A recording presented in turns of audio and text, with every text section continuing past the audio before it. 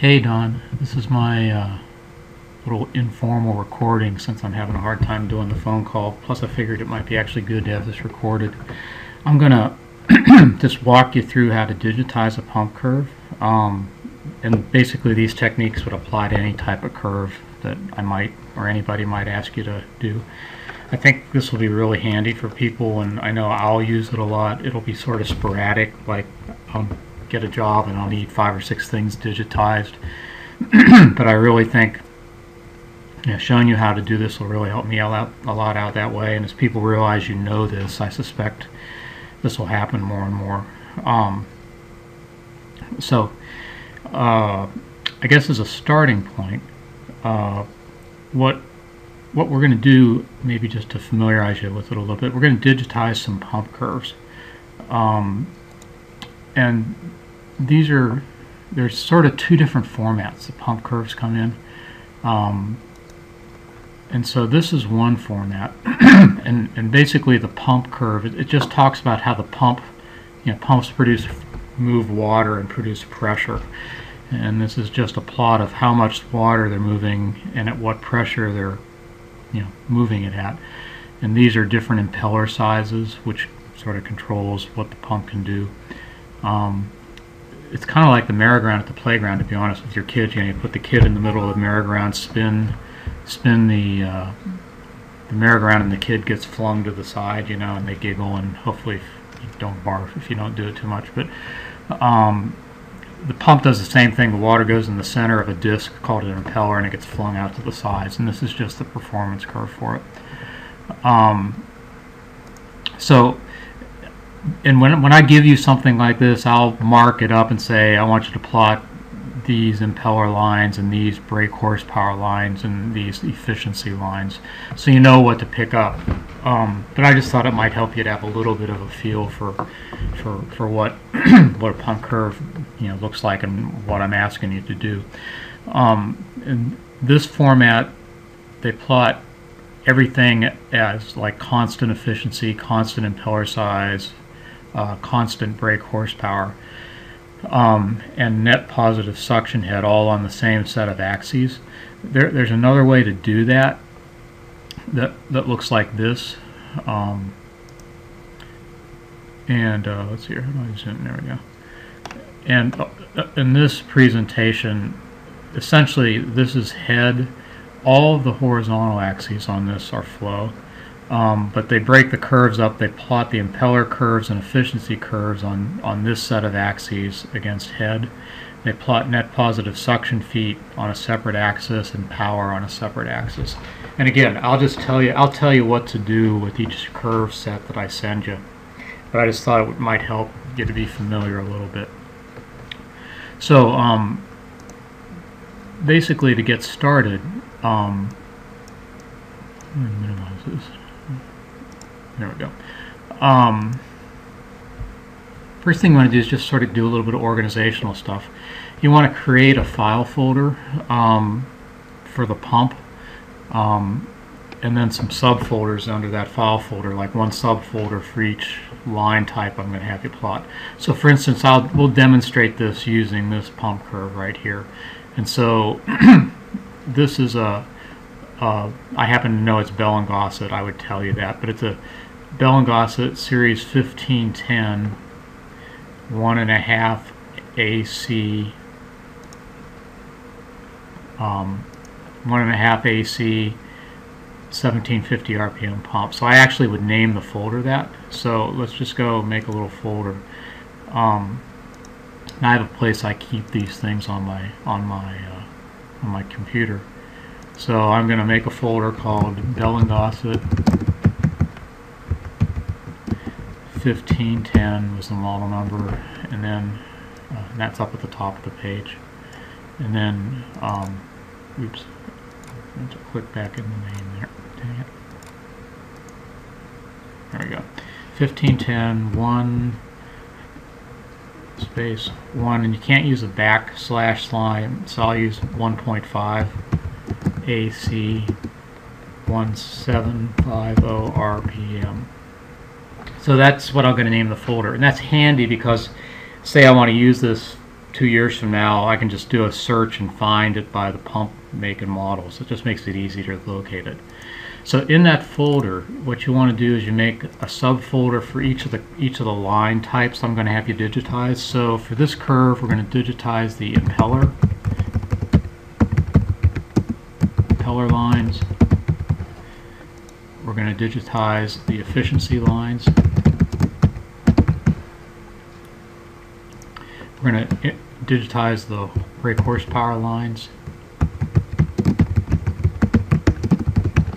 And we're going to digitize the net positive suction head.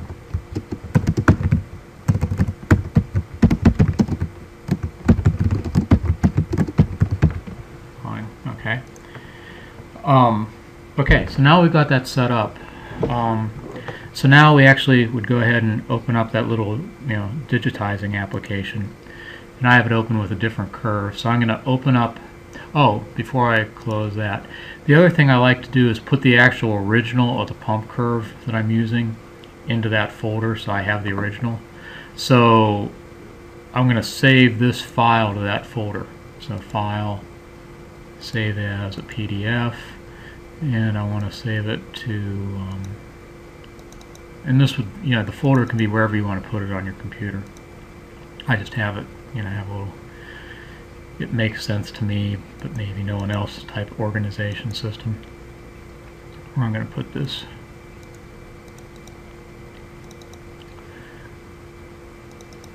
So I'm just going to save the original curve there. And, and, usually when you get this stuff, it'll be like a PDF. And, and one thing you have to do before you can work with it in that little plot digitizer is convert it to an image file. And, and there's a couple ways you could do that. Um, one is in Adobe, you can literally say File, Save, and instead of picking PDF, you go down here to Image and pick JPEG. And, you know, so I'll just put it in that same place. Um, so I can say Save. And there it goes. Um, another way um, to get a image from something, just, you know, so you know about it, out of Adobe, you can actually say Edit and then take a snapshot. And you get this little crosshair thing. You just sort of drag the crosshair over what you want to capture. And when I let go um, when I let go of the mouse button it says the selected area has been copied. So now it's on my clipboard. So the problem is how do I get that converted to a JPEG? And there's a bunch of ways to do that. The easiest one that I know of is I um, I open up PowerPoint and I'm just gonna I'm gonna make a blank presentation to show the whole thing so I'm just gonna open PowerPoint I'm going to make a blank presentation. I'm going to uh, make sure I, this slide has the title, so I want a blank slide, so I'm going to say layout blank. I'm going to click into that slide and I'm going to say paste bitmap. So there's that thing that Adobe just you know copied for me and the way you get it to be a image file is if you right click on this oops if you right click on it um, and one of the things PowerPoint lets you do is save something as a picture. So you right click, pick save as a picture, um, navigate to the folder you want to put it in. Um,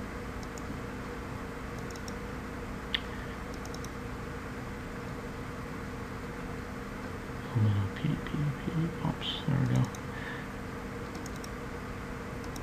And then um, I I work with JPEGs a lot, so I pick that format, and I know that format, image format, works with the digitizer.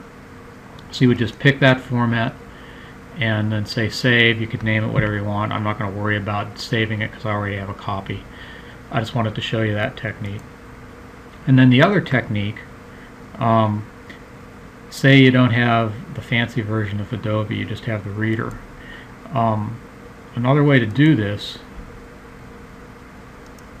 basically is to do a screenshot. So you press Control, alternate print screen.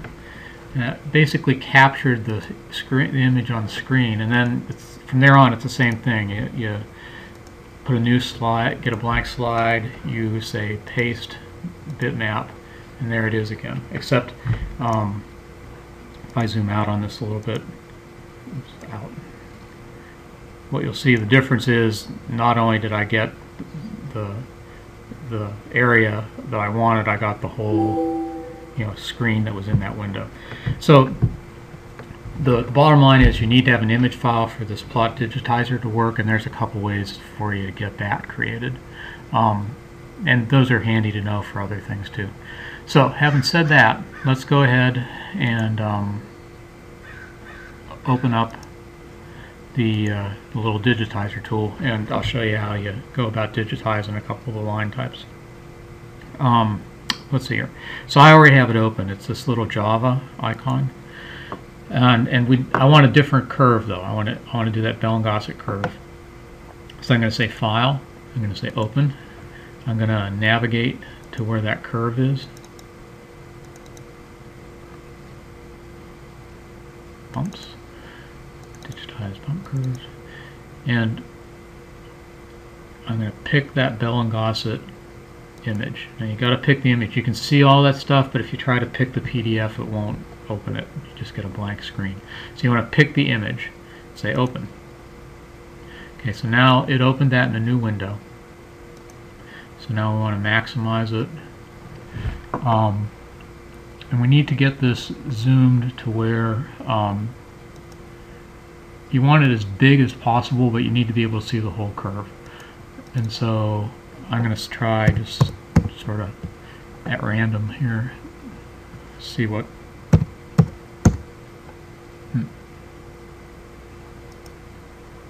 I guess maybe uh, I haven't tried zooming.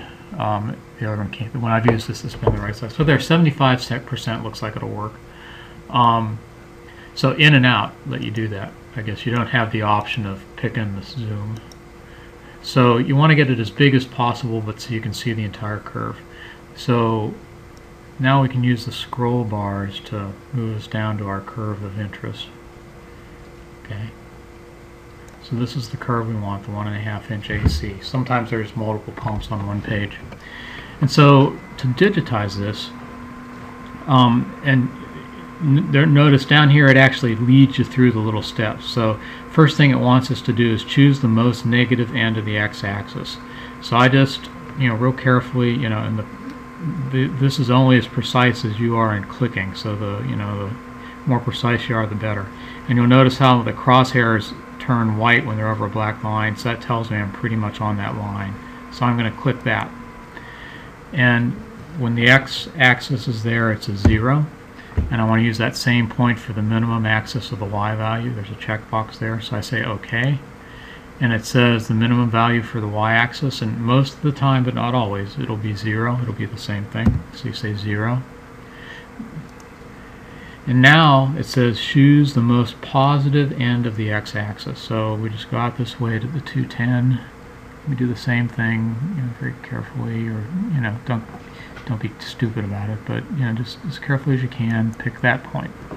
And so that value right there is 210. So we put that in. And um, you notice also you can um, use a log scale, and you can use the exact same calibration for y. We will use this sometimes, not for pump curves. We'll seldom use that, just so you know. And so we say OK. And now it's saying choose the most positive end for the y-axis, so we'll do the same thing uh, for there. And it says what's that value, and it's 60.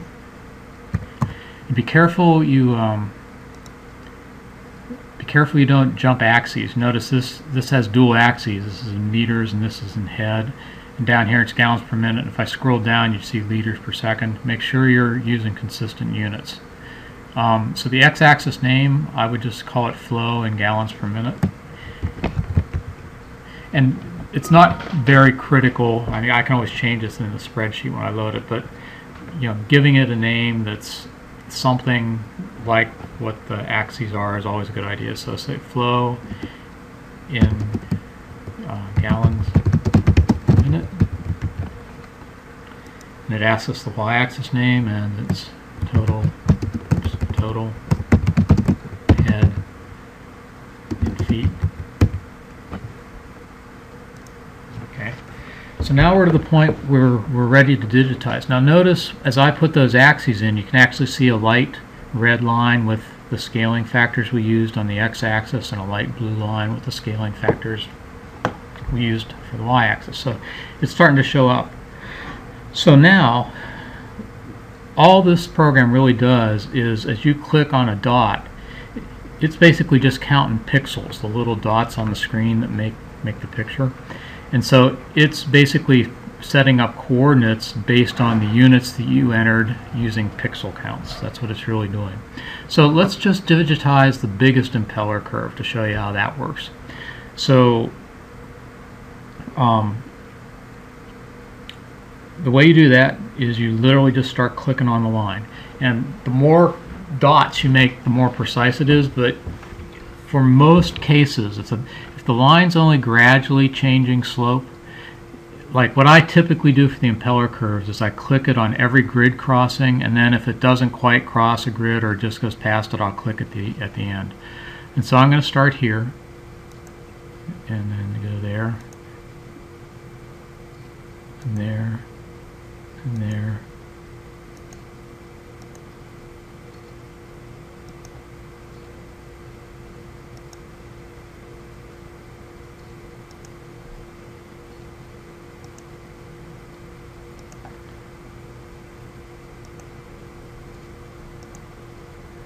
So, um, pretty darned exciting, isn't it? This is really exciting, technically, actually, to be able to do this, um, and what it means I can do and the time it saves and stuff. So there, I'm at the end of the line. You'll notice it drew a little yellow line where I clicked. So once I get there, and if you screw that up, all you do is you, you do the same procedure, just redigitize that line and don't save what you just did. But that looks pretty good to me, so I'm going to save it. So I'm done. So I go up here, I click Done.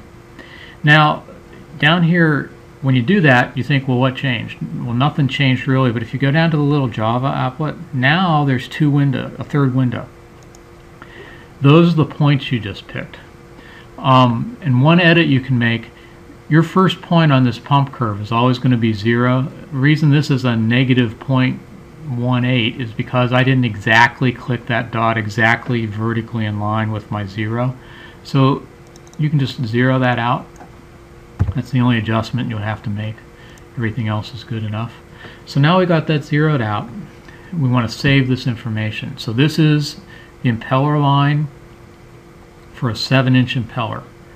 Okay, that's what the 7.0 means. So I'm going to say File, I'm going to say Save As, I'm going to navigate to the that while I'm there because that's where I opened this file from except now I want to put this in the impeller line folder and I'm going to call the file 7.0 because that's what it is and say save now if we go to that folder and look at what, what just happened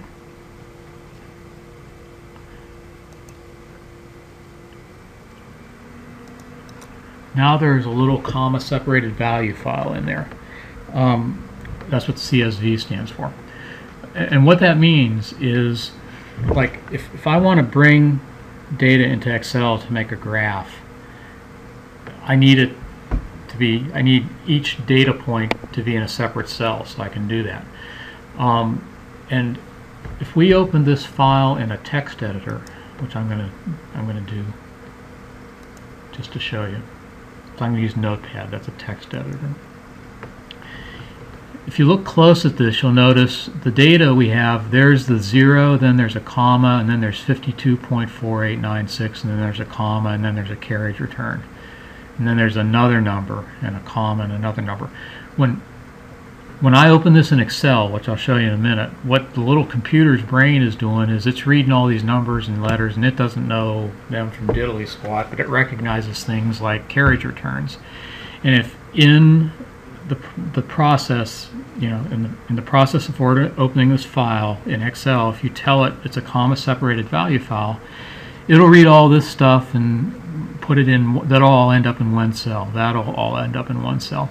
But when it gets to this zero, it'll put this the carriage return you know causes it to go to a new line so it'll put this all in one cell it'll come to here and it'll read the zero put it in the first cell and it'll see the comma and the little computer brain will say oh wow that's the only thing they want in that cell I better move over a cell so it'll move over another cell and then it'll put the 52.4896 in that cell and it'll see another comma and say whoa that's the end of that cell and it'll go over to the third cell, and then it'll say, what's next? And it'll say, oh, there's a carriage return, so I need to move down a row.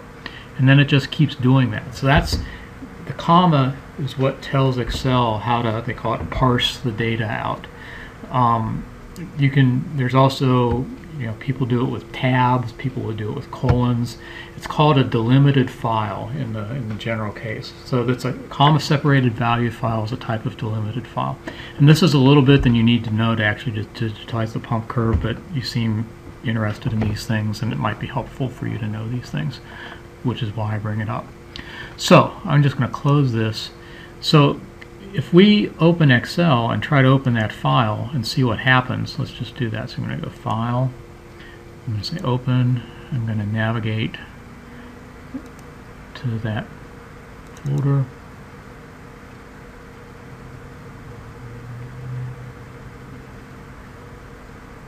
Now, um, I'm going to show you something. I have this, when you, by default, Excel does not have the all files filter picked. By default, Excel will be looking for all Excel files. In other words, if you had just freshly launched Excel and started doing this, the filter right here would be all Excel files. The reason I bring that up is watch what happens. When I click into this brake horsepower lines, oops, sorry, impeller lines folder, it's like, well, there's no files there. But I thought we were just there and there were files. Well, if we compare that, there actually is a file there and the reason we aren't seeing it is because Excel is filtering for only files with the .xl, .xls, etc. If I change that to all files, now that file shows up. So I bring that up because in the past I have been banging my head against the wall. Why does the file show up here and not there? Well, that's because the filter's turned on. So just something to know about. So if I open this file, and again, you won't have to do this Oh, it, it actually didn't parse it because I've done this. I'm going to shut down Excel and go through that procedure again just to so you get the full meal deal with it. Or actually I'll create a new instance of Excel and do it that way. Okay, so now, say File, Open. I'm going to navigate to the folder where the pump curves are.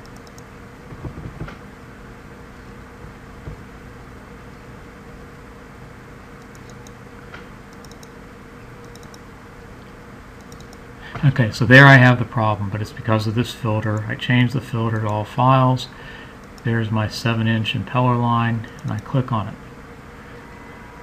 Well, I'll, oh, I know. It'll it'll automatically parse comma-separated value files. I'm so, this is what happens when I do the informal thing. I sort of get ahead of myself a little bit. I'm going to do one other thing here to show you show you something. Um, I'm going to navigate to that folder, and I'm going to copy this, but I'm going to make it a text file. Um, and like a CSV file can be a text file, but a text file can't be a CSV file from Excel's perspective. So now if I go and try and open that file in Excel, so I say file, open. And I try to open this file. This will, Excel will say, I don't quite know what to do with this, which is the point I was trying to make. Um, open. So now Excel, it recognizes that it's not a normal Excel file, and so it's saying, was this delimited somehow? Is there commas? Is there tabs? Or do you just want to tell me where the, where the rows are? If I pick fixed width and I say next, if all my data was perfect, like it was you know, three numbers, a decimal point, three more numbers, and a comma, I could say, well, I want to break the columns there, I want to break the columns there. So I could do that. But if I had data where it was one number, a decimal point, and three numbers, then 10 numbers, a decimal point, two numbers, I couldn't really do it because it wouldn't line up. That's the real advantage of a delimited file. So if I go back and say, well, this is actually delimited data, say next, it says, well, is it tab delimited? Is it what's what's the delimiter? What's the thing that tells me when to stop putting stuff in one cell and move over? And this is commas. We know that. So if I pick commas, notice how it now has broken that data up for me. Very cool. And if I say next, I could format stuff, but I usually just accept, you know, the default formats because I can fix that later. And then I say finish, and there everything is. Now you notice this number is in a separate cell from this number. This is in a separate cell from this number, even though if we open up that text file and take a look, 0 and 52 are all in one line, but here they're in separate cells. Okay. In contrast, total head and feet, flow, GPM, that whole line there, since there's no commas in it, if I click in this cell, that's where all of it ended up. Okay. So that's sort of how a comma delimited comma delimited file works. And again, that's a little more than you need to know to digitize this pump curve. But again, you seem curious about this stuff, so I thought I'd show you. And the other reason I showed you is once you get comfortable with the actual digit digit digitalization part, I can show you how to actually get that data into the spreadsheet to where it's even faster for me or whoever to work with it. In fact, once you get used to that, I can show you how to even get it to where it shows up as the curve, which you know then means it's ready for us to you know do our magic and with. Um, so I just thought we'd take it in baby steps and see where your interest level sort of started to wane. But this first step is really helpful. This is all you ever care to do, this will be helpful, the whole digitalization thing. So, getting back to that for a minute. So we just digitized this line right here. Now let's let's let's pick up an efficiency curve, like one of these these percentage curves. Let's pick up one of those. So to do that, all you have to do is, like it says here, press digitize. So I press digitize, and I keep the axis names,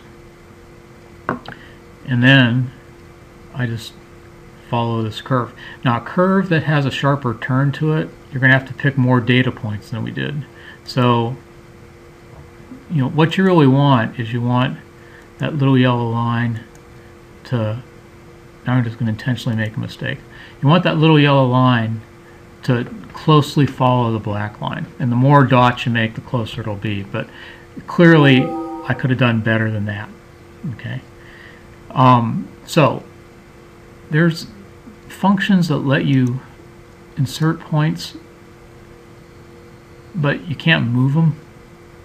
So when I mess up like that, I usually just start over again. In other words, I say done, but I don't save it. Like I say done, I go to this little window and I just close it without saving it. And then I say digitize and I just start over again for that line. So I go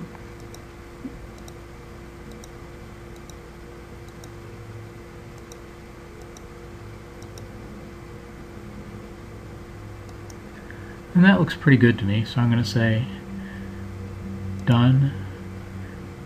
To go to that little chart. And now you don't make any corrections because this is out in the middle and so it's going to have odd coordinates. The only correct time you can correct is you know this one should be 0 for the y value, the starting point of these impeller lines. Other than that, you just take what you get. And I say File, I say Save As. But now the difference is, instead of an impeller line, this is an efficiency line. So I'm going to put it here, and it's a 70% efficiency line, so I'm going to call it, know, 70. That simple. Save. Okay, now I'm done with that. So you, you know, just do that same procedure for all the lines I ask you to, like, to digitize. i I'd probably, on this curve, ask you to do the impeller lines, the efficiency lines, the brake horsepower lines, and then that positive suction headlines. Um, and one, one little caveat, if, if you had one of the other curve types, so I'm going to close this and go back to that other window. So if you had this curve type, remember how uh,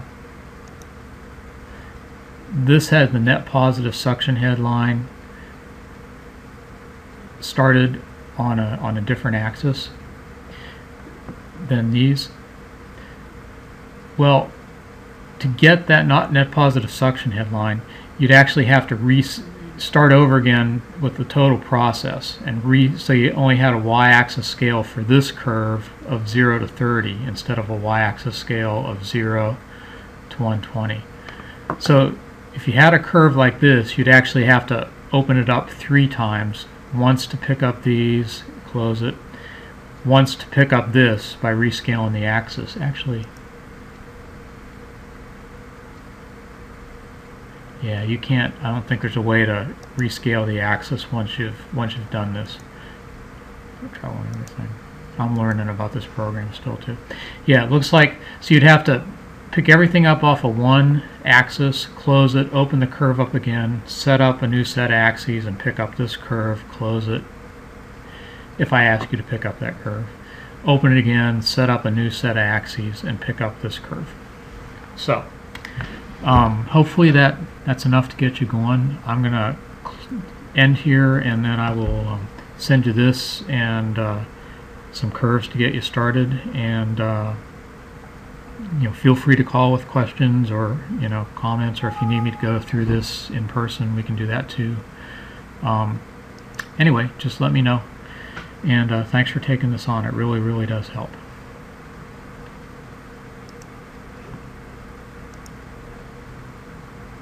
And that's it.